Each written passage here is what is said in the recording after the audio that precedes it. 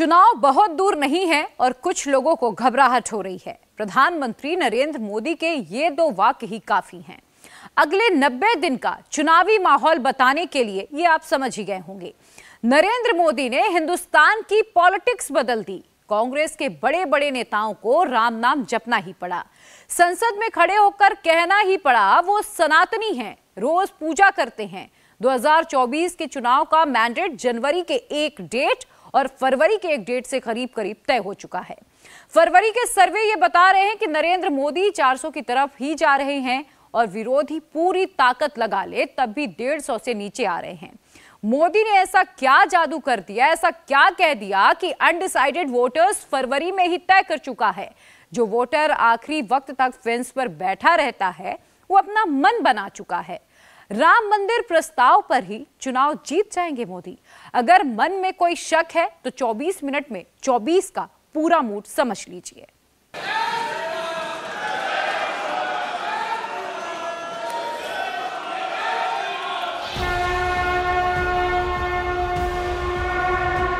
राम मंदिर में कितना वोट है?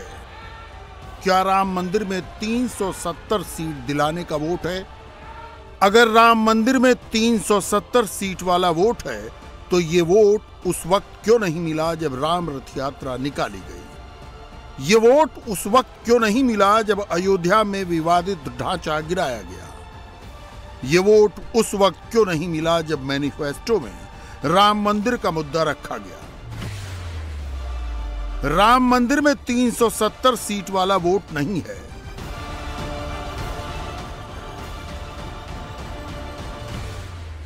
राम मंदिर में 19 फ़ीसदी से 22 फ़ीसदी वोट है। बीजेपी को इतना वोट तब भी मिला था जब राम मंदिर आंदोलन चला था। यह वोट तब भी मिला था जब जनता ने बीजेपी को रिजेक्ट कर दिया था।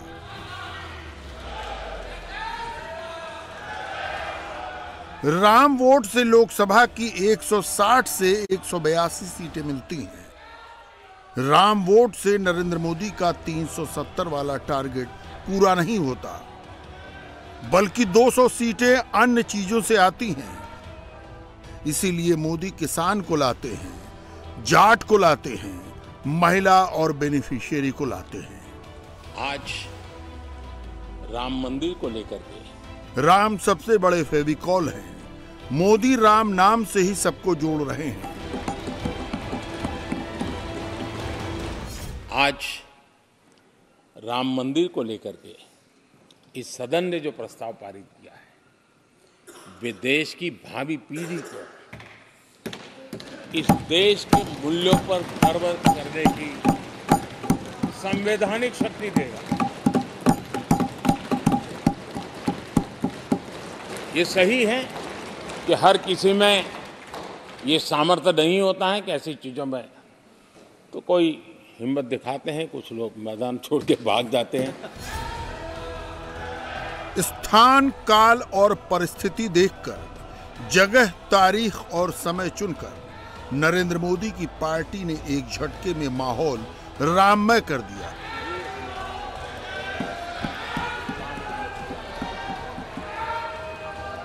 राम मंदिर को लेकर के। इस सदन ने जो प्रस्ताव पारित 24 के चुनाव का नगाड़ा बजने से पहले संसद में भी राम विधानसभा में भी राम मंदिर में भी राम और सड़क पर भी राम। हर किसी में ये सामर्थ्य नहीं होता है कि ऐसी चीज़ों में तो कोई हिम्मत दिखाते हैं कुछ लोग मैदान छोड़ के भाग जाते हैं। राम और राम के चरित्र को फिर से प्रस्तापित करने का काम 22 जनवरी को हुआ है मोदी जी के हाथ से हुआ है। बोलो जय श्री राम जय श्री राम जय जय श्री राम जय श्री राम। जिस प्रकार से कांग्रेस ने उस समय जो राम को नकारा भगवान राम को नकारा आज उनकी ये स्थिति है। अयोध्या नहीं जाना है क्योंकि वोट बैंक पे असर पड़ जाएगा। तो वोट बैंक की राजनीति आप कर रहे हैं हम लोग नहीं कर रहे हैं। 24 के चुनाव में बीजेपी की तैयारी का लेवल ये है। चुनाव से दो महीना पहले राम का नाम एकदम लाउड एंड क्लियर सुनाई दे रहा है।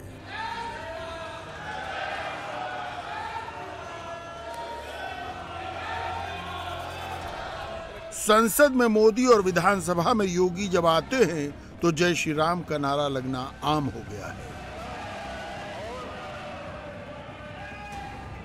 जिन लोगों ने 22 जनवरी को राम मंदिर में हुई प्राण प्रतिष्ठा का न्योता ठुकरा दिया था, उनको 10 फरवरी का ये दिन देखना पड़ा। नरेंद्र मोदी के प्री पोल शो की ओपनिंग राम से हुई प्री पोल शो की क्लोजिंग भी राम से हुई। बीच में मोदी ने सारी पिक्चर दिखा दी। 19 दिन पहले 22 जनवरी को नरेंद्र मोदी 303 पर थे। 19 दिन बाद 10 फरवरी को मोदी 370 पर दिख रहे हैं। जैसे टीचर डस्टर लगाकर ब्लैक बोर्ड साफ़ करते हैं, वैसे ही नरेंद्र मोदी ने इंडी अलायंस को साफ़ कर दिया। जोड़ तोड़ गुड़ा भाग, अभी तो ये इलेक्शन का स्टार्टिंग पॉइंट है। लोकसभा में कांग्रेस की स्थिति ये हो गई है कि उसके पास अधीर रंजन चौधरी और गौरव गोगोई से आगे कोई बोलने वाला नहीं है। ये नेता भी जब मुँह खोलते हैं तो फ़ायदे से ज़्यादा नुकसान करते हैं। जब भगवान राम ने रावण का निधन किया, जब भगवान राम ने रावण का निधन किया कांग्रेस नेता राहुल गांधी को अगर कोई बड़ी लाइन खींचनी होती तो संसद में परफेक्ट मौका था। राहुल संसद में आ सकते थे। उनकी न्याय यात्रा वैसे भी रुकी हुई है। राहुल ब्रेक पर हैं। वो लोकसभा में होते तो कांग्रेस का पक्ष रखते, लेकिन राहुल नहीं आए। संसद में कांग्रेस की सीटें खाली रहीं। सोनिया गांधी लोकसभा में ज़रूर बैठी रहीं, लेकिन उन्होंने कुछ नहीं बोला। नरेंद्र मोदी के बाकी सियासी शत्रु सीन से गायब हैं। उनकी आत्मा जहाँ भी होगी ज़रूर हमें आशीर्वाद देते होंगे। गौर कीजिएगा कांग्रेस ने इस सत्र का बायकॉट नहीं किया नरेंद्र मोदी को डिस्टर्ब नहीं किया संसद में हल्ला नहीं किया बस ध्यान से सुनते रहे। शायद कांग्रेस नेताओं ने प्रधानमंत्री की उस चेतावनी की गंभीरता समझ ली कि अगर इस बार हंगामा करोगे तो पब्लिक माफ़ नहीं करेगी। पहला लेयर राम का 180 सीट से नींव बनती है। दूसरा लेयर किसान का, इससे 50 सीटें आती हैं। तीसरा लेयर जवान का, इससे 40 सीटें ऐड होती हैं। चौथा लेयर महिला का, इससे भी 30 सीटें ऐड होती हैं। ये चार लेयर मोदी को 300 तक ले जाते हैं। पांचवा लेयर बेनिफिशियरी का है। 30 सीटें जोड़कर ये वोट मोदी को 330 तक ले जाता है। छठा और टॉप लेयर मोदी लेयर है। ये प्रधानमंत्री का जादुई वोट है जो मोदी को 370 तक ले जाएगा। क्या राजनीति में जादू होता है? क्या ऐसा हो सकता है? हाँ, हो सकता है। अभी दो महीना पहले एमपी राजस्थान और छत्तीसगढ़ में भी जादू ही हुआ था।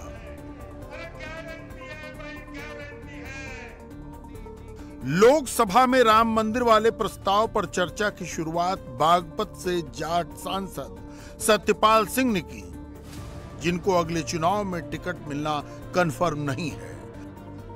अपने टिकट पर संकट है, लेकिन पार्टी का काम करना है।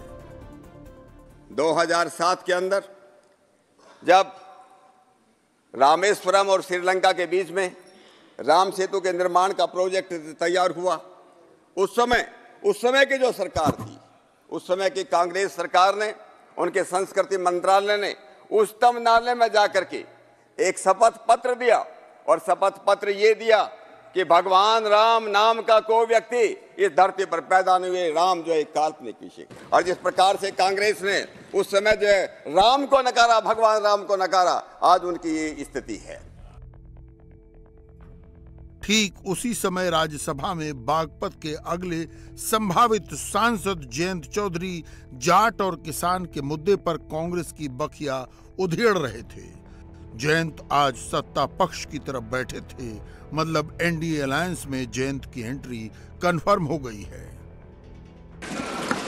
और मैं ये भी मानता हूँ दस साल मैं विपक्ष में रहा हूँ। कुछ ही देर सदन में मैं इस तरफ़ बैठा हूँ। लेकिन मैंने देखा है कि 10 साल में जो आज सरकार है, इनकी कार्यशैली में भी चौधरी चरण सिंह के विचारों की झलक है। जब आदरणीय प्रधानमंत्री जी ग्रामीण क्षेत्र में शौच की दुर्व्यवस्थाओं पर प्रकाश डालते हैं, जब महिला सशक्तिकरण को अपना प्लेटफॉर्म भारत सरकार बनाती है और गाँव गाँव में जागृति पैदा करती है तो मुझे उसमें चौधरी चरण सिंह जी की बोली याद आती है।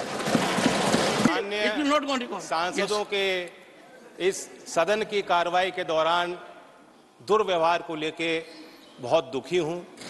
आपने मेरी नहीं देश की भावनाओं को व्यक्त किया सभापति जी। आपने मुझे संरक्षण दिया। बड़ी अचंबा मुझे होती है कि हम चौधरी चरण सिंह जैसी शख्सियत को किसी गठजोड़ के बनने और तोड़ने और चुनाव लड़ने और जीतने तक सीमित रखना चाहते हैं। राज्यसभा में चौधरी चरण सिंह को भारत रत्न देने पर चर्चा के दौरान सभापति ने चौधरी चरण सिंह के पोते और आरएलडी मुखिया जयंत चौधरी को बोलने का मौका दिया तो कांग्रेस को मिर्ची लग गई। खरगे राज्यसभा के सभापति और वाइस प्रेसिडेंट जगदीप धनखड़ से ही उलझ पड़े। धनकड़ ने वही खरगे की क्लास लगा दी। Someone should appreciate Bharat Ratna to Chaudhary Charan Singh the rule is in in me I have done it consistently I read rule books don't use this language sir don't use this language I don't want to create at don't use this language no I will not tolerate an insult to Chaudhary Charan Singh I will not insult Chaudhry Charan Sir, sir, sit down. Sit down, sir. No, no. No, no, not on this. No, I will not. I will not accommodate on this. Meaning thereby, meaning thereby, I must read the letter, satisfy Jairam Ramesh that what I am doing is right. Where are you doing it? Sir, you learn things now. I don't have to. I read it because I read it because you virtually insulted Chaudhry Charan Singh. You insulted his legacy. You had no time for Bharat Ratan Chaudhry Charan Singh. आज के दिन हर किसान के दिल पर आप चोट कर रहे हो उसके दिल को धका रहे हो चौधरी चरण जैसे व्यक्तित्व के ऊपर इस प्रकार का वातावरण हाउस में करना और head should go in shame मैं खुद पीड़ित हूँ, दुखी हूँ। कांग्रेस राम के नाम पर पिटी, कांग्रेस किसान के नाम पर पिटी, कांग्रेस जाट वोट के फ्रंट पर पिटी।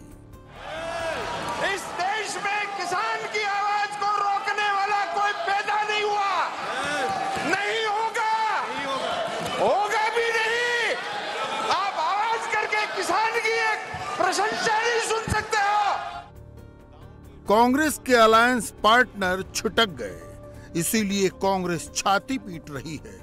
बीजेपी तो छोड़िए। अब बीएसपी के सांसद भी कहने लगे हैं, राम का विरोध छोड़िए, वरना हाल और बुरा हो जाएगा। देश के जो खुशी का लहर दौड़ी, पूरे देश में जो ये महोत्सव मनाया गया, ये बहुत खुशी की बात थी और मैं अपने साथियों से जो विपक्ष में कांग्रेस पार्टी के लोग बैठे हैं, कहना चाहता हूँ, अरे कम से कम इस इस बात का तो विरोध मत करो। अगर इस बात का विरोध करते हो तो जब देश में विधानसभाओं में चुनाव होते हैं, फिर क्यों मंदिरों में जाते हो, क्यों जनेऊ पहनते हैं? और बगैर मतलब की अगर बातों का विरोध करोगे 1913 में जब ये लेजिस्लेचर सिस्टम शुरू हुआ कलकत्ता में, वो देश एक और था। उन्नीस में जब देश आज़ाद हुआ, वो एक देश और है। उन्नीस सौ बावन से जो शुरुआत हुई, वो एक देश और था। और आज 2024 का देश और है।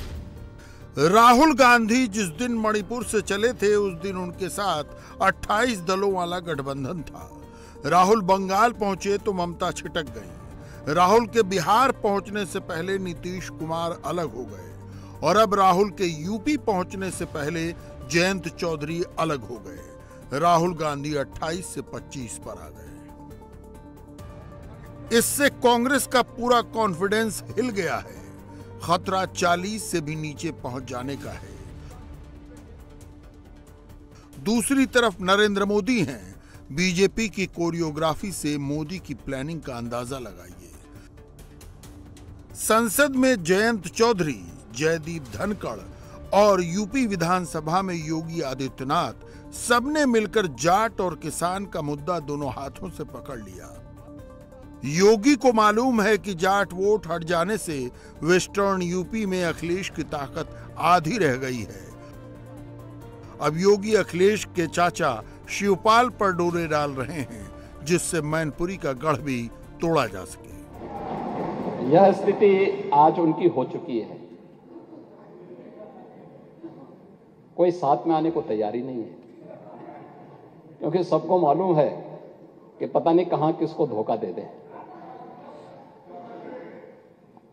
तो चाचा तो जानते ही थे कि इसलिए क्या होने जा रहा है। यूपी में बीजेपी सचमुच 80 बटा 80 के प्रोजेक्ट पर काम कर रही है। अगर चाचा ने पाला बदल लिया तो सपा के लिए मैनपुरी का गढ़ भी नहीं बचेगा। नरेंद्र मोदी दिल्ली से बड़ा घेरा बाँध कर चल रहे हैं। सेंट्रल थीम हिंदू वोट की है, लेकिन उसमें जातियों को भी जोड़ा जा रहा है। राम से निषाद भी जुड़ते हैं राम से शबरी भी जुड़ती हैं। राम उत्तर और दक्षिण को जोड़ने वाले सेतु हैं। मोदी की पार्टी ने वक्ताओं को चुनने में इसका भी ध्यान रखा। उस राम जन्मभूमि आंदोलन से जुड़ी होने के नाते मैं आज इस नए सदन में नए प्रस्ताव को समर्थन देते हुए देश के यशस्वी प्रधानमंत्री जी का संतों की तरफ़ से, देश की जनता की तरफ़ से अभिनंदन करती हूँ, वंदन करती हूँ। माननीय सभापति महोदय, शायद मुझे लग रहा है गौरव गोगोई जी ने गोली चलाने की बात कही। शायद मुझे उनको याद दिलाना पड़ेगा। जब कार सेवकों के ऊपर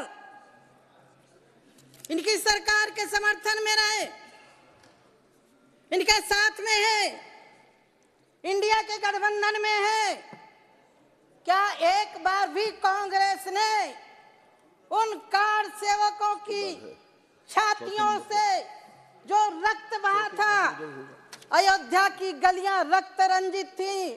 सभापति महोदय में वहाँ थी। क्या कभी इस कांग्रेस ने खेद प्रकट किया? संसद में राम मंदिर पर प्रस्ताव से दो काम हुए। एक तो हिंदू वोट जुड़ा दूसरे कट्टरपंथियों की प्रतिक्रिया से ध्रुवीकरण की संभावना बढ़ी। ध्रुवीकरण से भी मोदी का ही फ़ायदा है लेकिन ध्रुवीकरण कराने का दोष मोदी पर नहीं लगता। पूछना चाह रहा हूँ कि क्या मोदी सरकार एक समुदाय, एक मज़हब की सरकार है, या पूरे देश के मजाहिब को मानने वालों की सरकार है, जिसको नहीं मानते उनकी सरकार है? हमको बता दीजिए। उनचास में धोखा हुआ, छियासी में धोखा हुआ, बयानवे में धोखा हुआ 2019 और 22 में भी इस ऐवान के ज़रिए हमको धोखा दिया जा रहा है। और अफसोस के साथ कहना पड़ता है, सर कि मुस्लिम अकलियत को हमेशा ये कहा गया कि तुमको भारत के शहरी बरकरार रहने के लिए एक बहुत बड़ी कीमत तुमको चुकानी पड़ेगी। अच्छा बल्कि मैं तो मर्यादा पुरुषोत्तम राम की इज़्ज़त करता हूँ। मगर मगर मैं नाथूराम गोडसे से नफरत करता हूँ। मेरी नस्लें नफरत करती रहेंगी, क्योंकि नाथूराम गोडसे ने उस शख्स को गोली मारी, जिसके जबान से आखिरी लफ्ज निकले, हे राम।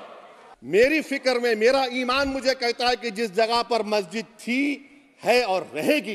बाबरी मस्जिद है और रहेगी। बाबरी मस्जिद जिंदाबाद जिंदाबाद, भारत जिंदाबाद। जय हिंद।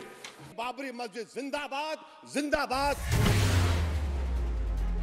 संसद में असदुद्दीन ओवैसी का बाबरी मस्जिद जिंदाबाद कह देना यह हिंदुस्तान का लोकतंत्र ही है। ये संविधान ही है जो ओएसी ये बोलने की हिम्मत कर पाते हैं। मोदी इसे रोकते नहीं, वो यहाँ से आगे की लाइन खींचना जानते हैं। नरेंद्र मोदी ने आज संसद में राम राम कम किया, ये काम अपनी पार्टी के नेताओं पर छोड़ दिया।